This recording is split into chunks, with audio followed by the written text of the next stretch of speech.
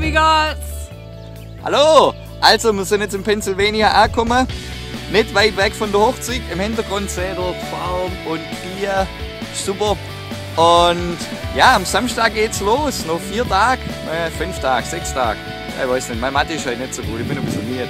Aber ähm, ja, am Samstag ist dann Hochzeit und wir freuen uns drauf für alle, die da sind.